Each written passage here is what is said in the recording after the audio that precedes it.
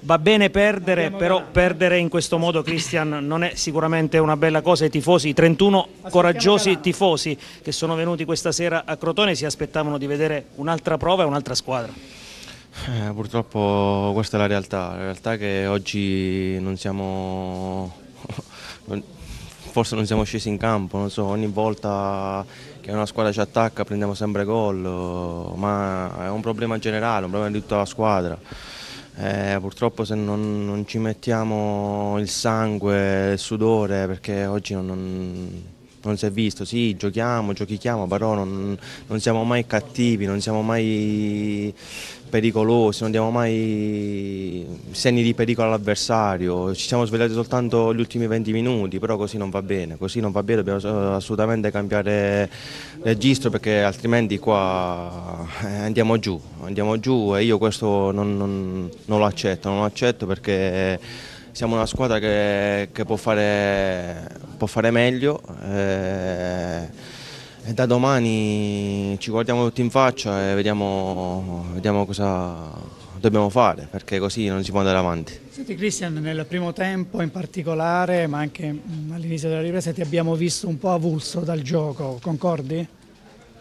No, ho cercato di farmi vedere, lì purtroppo lo sapete, non è il eh, mio gioco adatto, però mi adatto a tutto, quello che dice il mister lo faccio con grande umiltà, poi è normale che non, eh, lo sapete anche meglio di me, non sono proprio le mie caratteristiche, ma ci provo, do, do tutto, poi non sempre mi riesce bene, però ho cercato di, di farmi vedere lì, però non, non è andato bene. Poi gli ultimi 20, 20 minuti, quando è cambiato, abbiamo dato qualcosa in più, penso che si è visto però ripeto non è questo il problema, il problema eh, è generale, il problema è che ci dobbiamo mettere il sangue, cioè il sangue agli occhi perché così non, non, si va lontano. Non si va lontano sì. Il tuo è un duro atto di accusa nei confronti della squadra, ma perché oh, questo no. Pescara arriva a Crotone e gioca una gara così brutta? Eh, questo non lo so, perché noi l'abbiamo preparata in un altro modo la partita, ci siamo allenati benissimo questa settimana ad alta intensità, però poi questo non, non, non, si verifica mai in campo.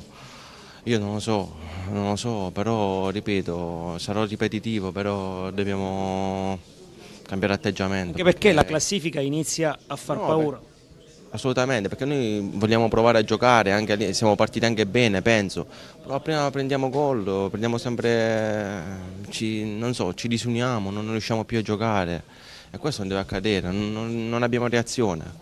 Eh, dispiace perché, ripeto, possiamo fare molto di più, molto di più e già da domani dobbiamo metterci, eh, ripeto, a guardarci in faccia, a dirci le cose, andare avanti e, e preparare la partita con, con l'Ascoli che sarà importantissima per noi. Partita con l'Ascoli e poi ci saranno all'orizzonte due trasferte consecutive, è un periodo particolarmente impegnativo e al tempo stesso delicato.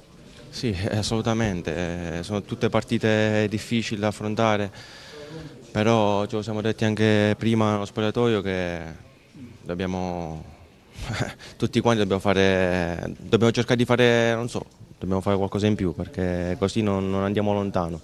Sì, abbiamo, ora pensiamo prima alla partita con l'Ascoli che è quella più, più importante e poi andiamo a fare queste altre due battaglie fuori, però già da, da domenica con l'Ascoli dobbiamo cercare di di cambiare registro.